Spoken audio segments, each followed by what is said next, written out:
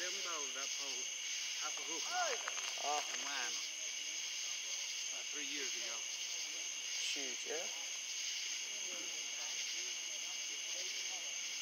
I caught one over one